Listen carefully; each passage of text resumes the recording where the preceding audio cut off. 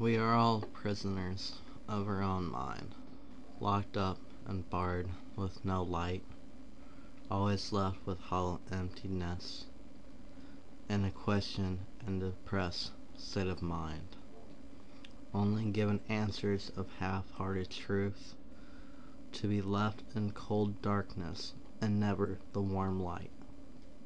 Cracked and disfigured lying on brutal ground, Nothing around to comfort us in our prisons,